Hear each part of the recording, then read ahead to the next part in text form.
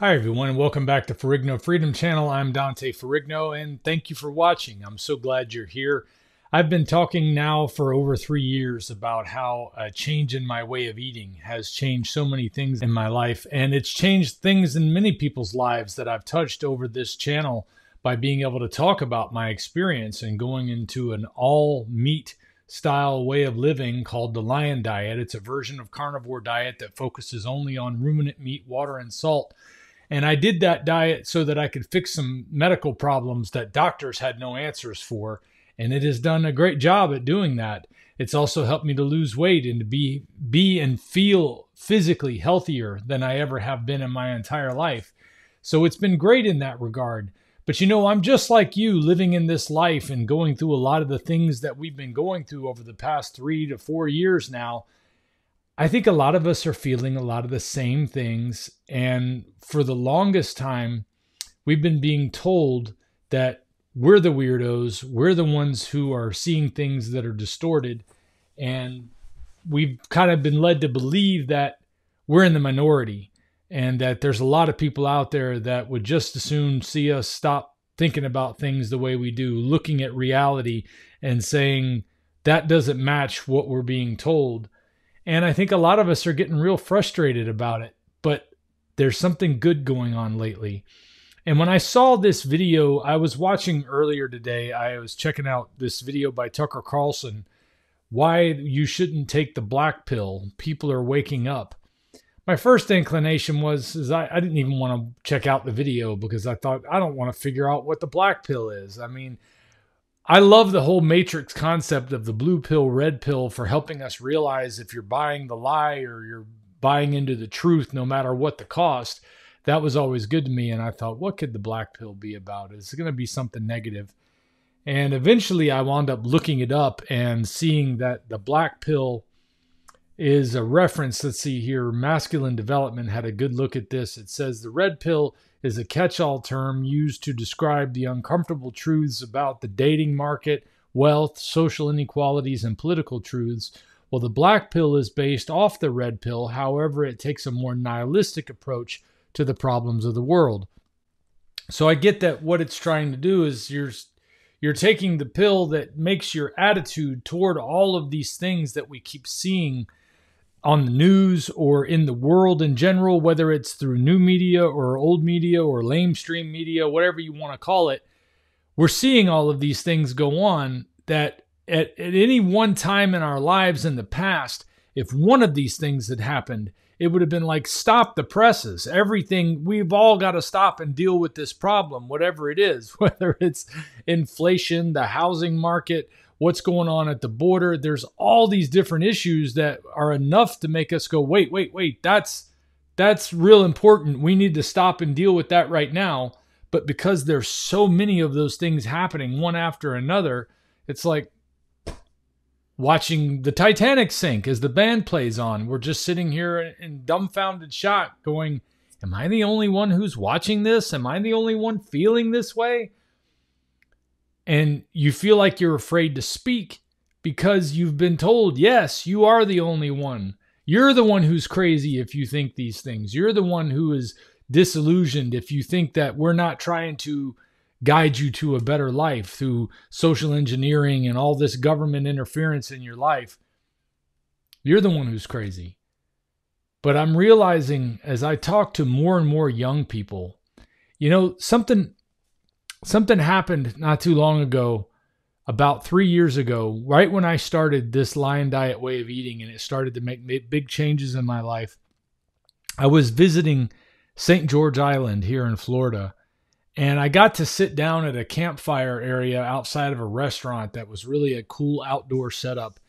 And I was sitting there and I was listening to these late 20, early 30 somethings talking about my generation, Gen X, and having a reverence toward the freedoms that we had when we were growing up and wanting to experience those freedoms in their own life and wanting to not feel like they've got to fall into this conformity system that we all feel being built around us when we have to go get insurance and we've got to go talk to the government, when we've got to pay our taxes, when we've got to do anything we've got to do online nowadays that used to be a convenience feature that we had where you could access it online and do it. Now, everything you have to do involving something bureaucratic in your life is done online and it's almost impossible to to navigate your way through the system anymore.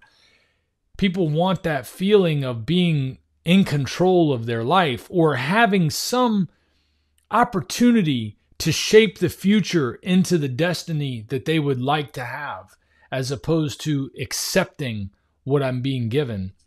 And this video that I watched with Tucker Carlson talking about this gentleman who wrote this article uh, called uh, The Vibe, uh, or The Vibe Shift, I think it's called. It just got my attention that it's nice to see that somebody else is seeing it.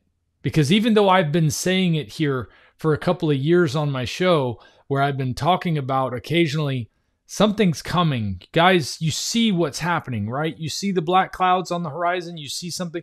See, I wasn't trying to blackpill you there. I didn't want you to have a nihilistic view. I wanted you to realize that something is happening and we need to wake up together so that we can say no more of these encroachments on the truth and reality. We as carnivores see it in our community all the time because we're constantly told that what we're doing, what we're eating to live better and to feel better is going to cause us to feel worse and be sicker and to die younger and to have all of these problems that just don't exist in the reality of somebody who is living a carnivore lifestyle and taking the time to educate themselves against the things that we have been told for half of a century or longer that were either made up from the whole cloth lies or they were truths that were bent because maybe somebody was trying to protect their reputation, or maybe somebody was trying to get a step up, or maybe get a grant or a funding that they needed to do something, and they thought, well, it's it's for the greater good. I can actually get more work done if I can get through this next hoop. But every time we make compromises like that, we realize we don't realize how far off track we get. But so now here we are 50 years later after all of the food nutrition uh, experts have come up to the government and told us these are the guidelines we need to follow. This is the way humans need to eat. And you've got to cut these things out and include these things. We're realizing that everything is backwards from what it should be. Where we've been told that we should be doing one thing when really we should be doing the exact opposite if we want to achieve the same goal. And that makes you start to question the the things that you put your faith in before. The the the little sign on the on the drive-through window at the fast food restaurant you used to go to that would say that this place received an A for their health uh, score, you start to think, you know, I've been in that restaurant before. It's usually filthy. The service is bad. The the employees aren't paying attention to the customers. They're not very clean looking. How did they get this good grade when they don't seem to be doing anything to maintain their business from the perspective of the customers who support the business? how can the people, the entities that come in to check and see if everything is clean and like it should be, how can they have such a different view of this place than I do?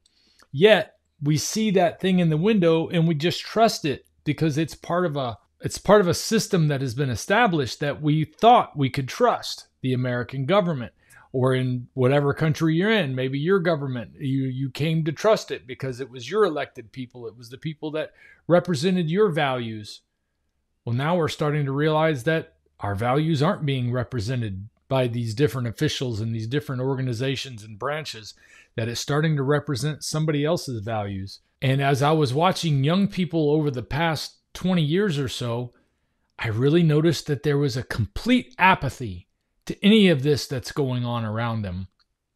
And it was concerning. It's one of the reasons why many people in Gen X and in the boomer generation are so negative on the millennial generation. And I have to be careful of how I talk about the millennial ge- generation. My wife is from that generation, but she looks at it and says, I don't know what people in my age are thinking. It doesn't make any sense to me either. I want to live where merit is rewarded, and I want to live where people are sticking to decent values that have been around for millennia when it comes to our family and our faith and our interactions together. But that was going out the window with so many people in that age group. Well, I'm seeing something different going on in the younger generation, and it's very encouraging to me. So I thought I would take a look at this article that brought Tucker to check out this this gentleman. Uh, this gentleman's name is Santiago Pliego, and he, you can watch the video. I'll put a link to the video that Tucker Carlson did in the video below. But what I would like to cover here is the article that he wrote that got Tucker Carlson's attention because I think we all need something like this. If it's as good as that, if it was good enough to be the breath of fresh air that somebody like Tucker Carlson needed because he's going through media and information that to process to be able to bring to the public and be able to give an, a closer look at things that need to be looked at to find something out there that is positive it was very encouraging to me so let's take a look at this article. I'm going to go ahead and switch over to where we can see it. Where is it at? Is this the one? Yes, here we go. All right. So we're going to take a look at the vibe shift. This article was posted on February 24th of this year, and it is on Substack. Surprised that it only has 605 likes. I guess a lot of people didn't jump off the video and go right to check this out. So I'm glad I'm covering this so that we can look at it together. When you can assume that your audience holds the same beliefs you do, you can relax a little and use more normal means of talking to it. When you have to assume that it does not, then you have to make your vision apparent by shock. To the hard of hearing, you shout, and for the almost blind, you draw large and startling figures. Flannery O'Connor, Mystery and Manners.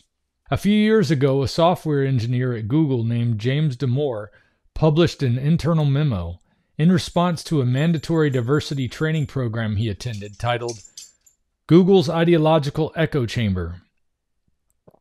Damore, by all conceivable metrics, the kind of competent, curious engineer that tech companies pay mountains of money to retain, made the unforgivable mistake of essentially asking, Hey, what if reality and not targeted misogyny accounts for the fact that more men than women work in tech?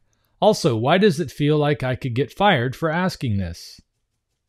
He was, of course, fired less than three months later for advancing incorrect assumptions about gender and for raising a perspective that is, quote, not a viewpoint that I or the company endorses, promotes, or encourages, said Danielle Brown, Google's VP of Diversity, Integrity, and Governance. What struck me most in revisiting his story is that this happened at the end of 2017. In my mind, this was something that happened circa 2012, at least or nearly a decade ago, with enough time for the Overton window to collapse to the point where this kind of discussion is now ubiquitous on X and in other places. Had he waited for the vibe shift, Damore could have posted the above TL semicolon DR to a receptive audience of tens of millions. I guess it's referring to this. Google's political bias has equated the freedom from offense with psychological safety but shaming into silence is the antithesis of psychological safety. This silencing has created an ideological echo chamber where some ideas are too sacred to be honestly discussed. The lack of discussion fosters the most extreme and authoritarian elements of this ideology. Extreme, all disparities in representation are due to oppression. Authoritarian, we should discriminate to correct for this oppression. Differences in distributions of traits between men and women may in part explain why we don't have 50% representation of women in the tech and tech and leadership.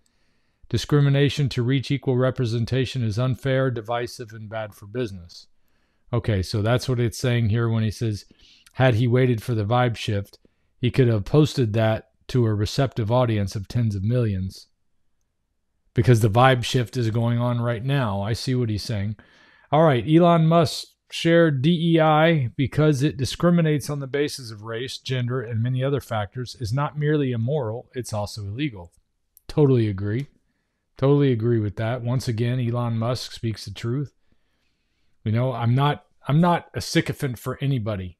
I'm not a Elon Musk super fan, but I do think a lot of what I've seen him do over the past few years involving Twitter and his statements and, and support of free speech.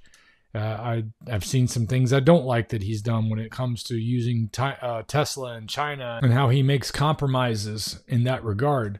But uh, for the most part, I agree with a lot of the things he says. It's hard to say exactly how long it's taken for the eponymous vibe shift vibe to shift, but everyone knows it's happening. For at least the last six months, not a day has gone by when I haven't seen something, heard a statement, read a post, or had a conversation with someone that doesn't leave me completely shocked. In a good way.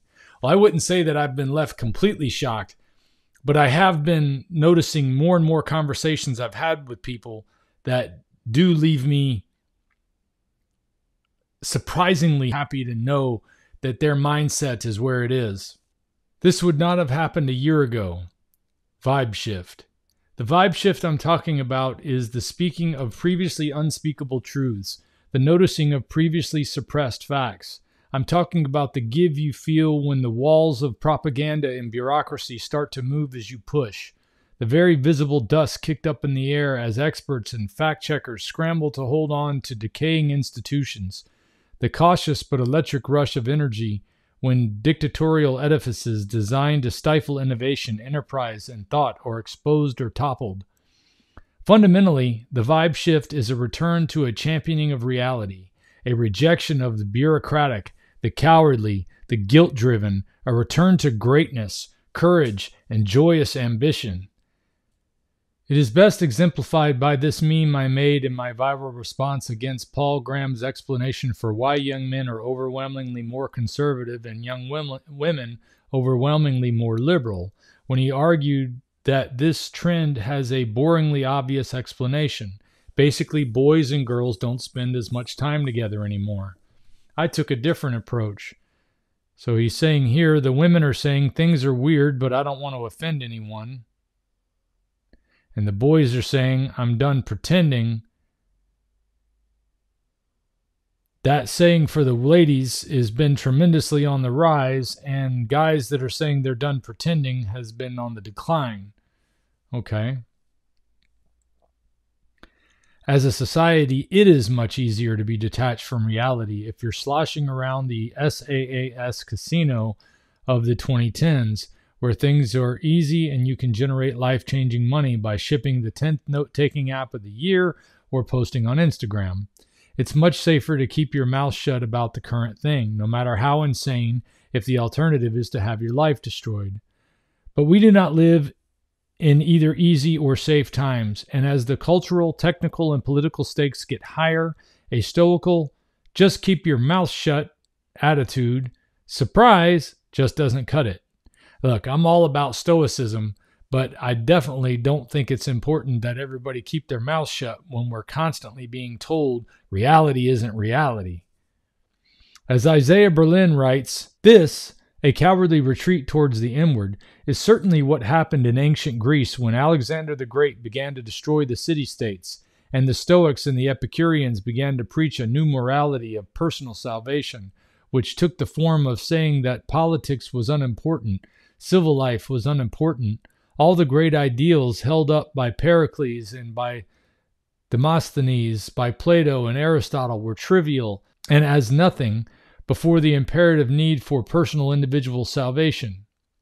Most folks in the tech and venture orbits are probably aware of the most salient example of the vibe shift in startups, the happenings in the Gundo, the TL semicolon DR on the Gundo is a bunch of bright, young, ultra ambitious dudes in El Segundo, California, have forsaken the don't rock the boat by saying what you believe and focus on hitting the SaaS jack, jackpot ethos of 2010s and 2020s, Silicon Valley, and are instead unapologetically pro America, pro family values, openly religious, all of which they channel into challenging the important missions like manufacturing hydrocarbons out of thin air, making it rain where it doesn't, and more generally, rebuilding America. Yeah, now that that it that he said a mouthful in a very long sentence there. But what we are seeing is a lot of people that are unapologetically pro America, pro family values, openly religious. Yes, that's something that I had seen go away for quite a few years, especially in the generation that was coming up behind me. And to see it coming up in the generation behind that generation, I guess you would call it Gen Z, seems to be waking up to this, and a lot of millennials too. But a lot of these Gen Zers, I'm noticing they they young women who want to be housewives and want to raise a family, who aren't being sold the lie of they have to have a career and they have to be able to to, to trade their life for this position or whatever that they're told they're supposed to want. They're wanting what they want to want. They're wanting what their heart follows, teaches them to follow. They're following the traditions that give them comfort in their life, the things that they know are good and solid and pure in their life. They want to experience those things. They want to have that relationship with God. And I'm starting to see that in more and more young people, and it is so encouraging to see. But part of what is causing the vibe shift is that it goes well beyond the gundo. Indeed, no matter what circles you run in, almost everyone from AI accelerationists to tech, ro- tech bros to gun owners to Bitcoiners to Christians to normal families to children who like math to American citizens is undergoing a variation of the same kind of pressure to conform, stagnate, decelerate. Not only does the current thing demand total and unquestioning loyalty from all of these groups, but not even a year and a half ago, anyone willing to speak out could be barred from participating in the public square forever. And then Elon freed the bird. As Mike Solana recently wrote, for over 20 years, it's been obvious the internet doomed the 20th century media oligopoly, but it took decades for a majority of Americans to move online. And in 2016, at precisely the moment it seemed social media would replace the former order, an unofficial alliance of powers refortified an elitist hold on disclosure. A year ago, Elon shattered that alliance. The thought criminals were freed, and the window of acceptable discourse broadened until it broke. A total Overton collapse.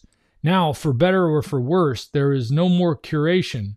The, there are no more fake trends. There are no more Washington Post employed state sock puppets propped up artificially, and there's no more political censorship. Yes, whatever Elon finds personally annoying tends to vanish. Rest in peace, Substack links and he's still not been tested by a major election. But for now, at least, new trends are dominated by stories people actually care about, even when they suck. This has never happened before, and so the phenomenon necessarily poses opportunity that has never before existed. Emphasis mine, being the author. It's hard to overstate how much Elon's purchase of Twitter has accelerated and perhaps directly caused the vibe shift. The old ways of cutting and slicing the world have broken down, and now the most unexpected groups have found themselves as co belligerents in an existential war to preserve our ability to speak, build, commute, worship, transact, live in peace, and eat, I would like to add. eat and live. And thus, cutting across the communities and denominations and occupations and hobbies, we get to the vibe shift. The vibe shift looks like ditching childless civilizational nihilism and saying, yeah, having kids is good, actually. The vibe shift is the repudiation of homogenizing hyperglobalism and instead intentionally pursuing the communal, the local, and the national. The vibe shift is the rejection of reality denial and instead embracing that men and women are unique and different. The vibe shift is the refusal to subordinate yourself and your family to the whims and anxieties of activists and bureaucrats and relearning to trust your eyes and ears. The vibe shift is the rejection of secular liberal materialism and the return to Christian foundations of the West. The vibe shift is taking off the ironic veil that aims to cover the festering wounds of despair and putting on the vestments and seriousness instead of serious and putting on the vestments of seriousness instead.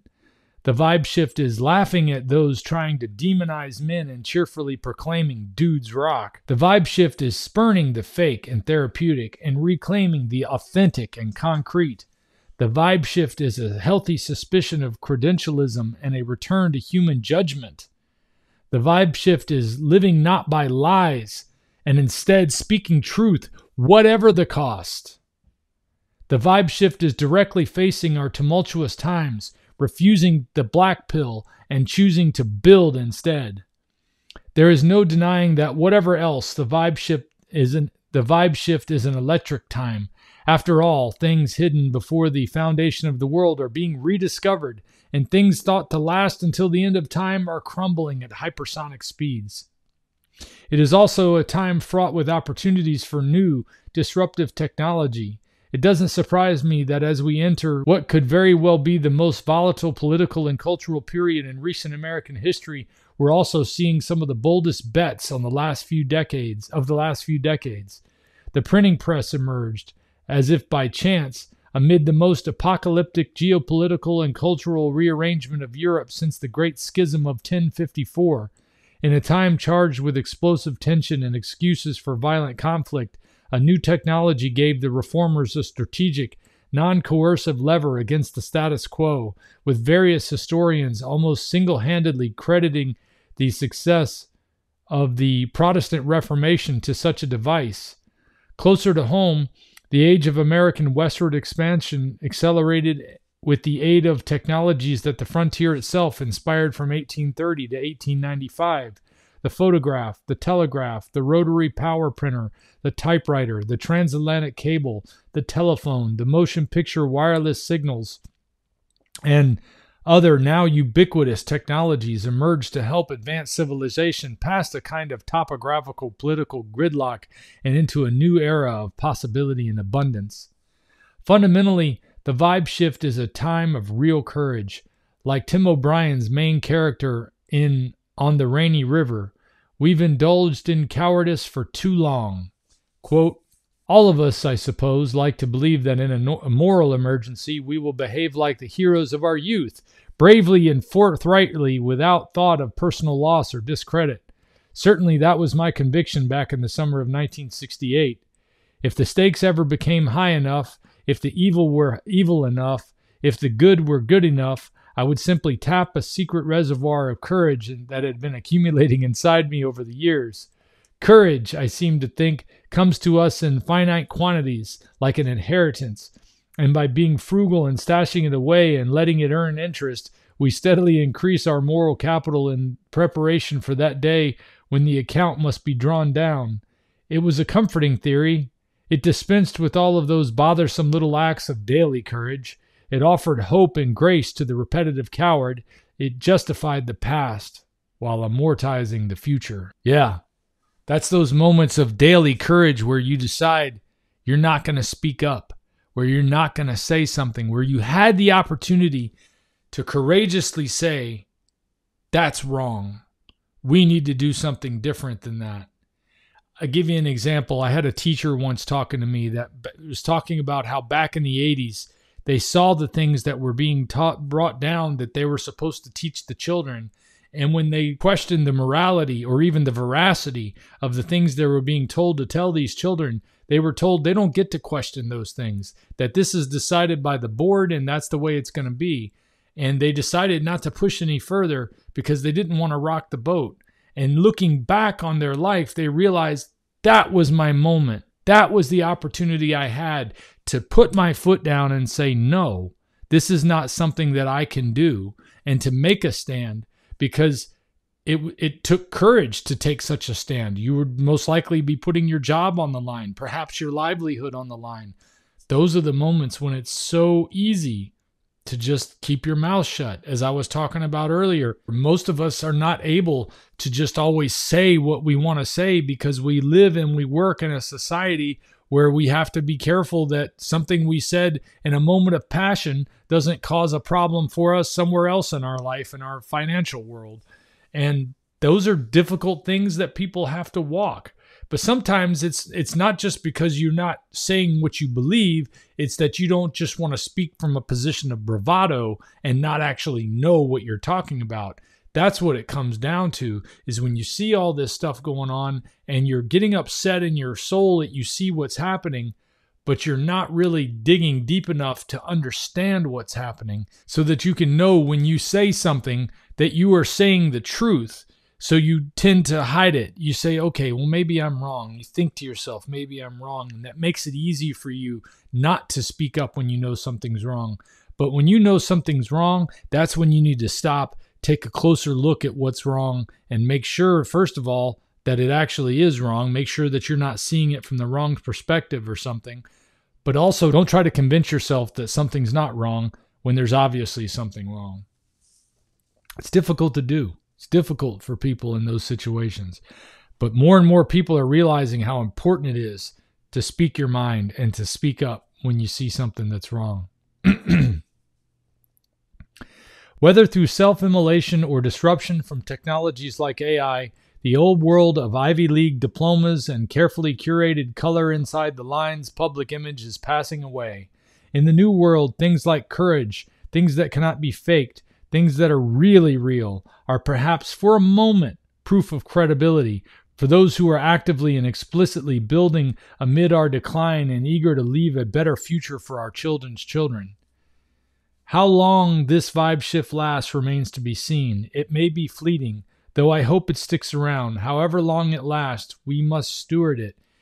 And so I leave you with the words of Nehemiah to the Israelites as they faced opposition and threats from surrounding adversaries who sought to deter them from rebuilding the walls of Jerusalem.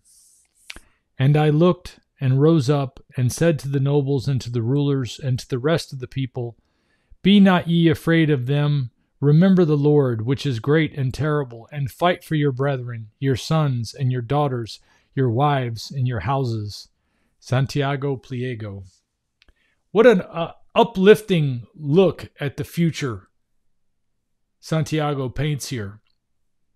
This is really a good article, and I'm glad that it's getting some attention because I think this is this is a better picture of what's going on out there in, in the world right now. We're seeing more and more young people wake up to this reality and they're starting to figure out that they can speak, that they can say what they think, and that more and more of their friends are on board with them and that they're not isolated like they're being told they are. They're not something strange.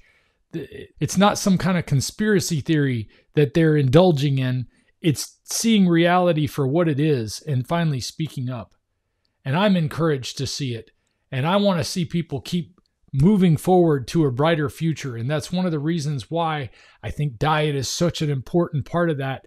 Because just like all the mental lies we're told, all the verbal lies, all the things that enter our, our ears and our eyes that are bad for us, that are false, that are killing us, same thing is happening with the things that we put into our mouth, whether it's the food we eat or the water we drink or the whatever we drink.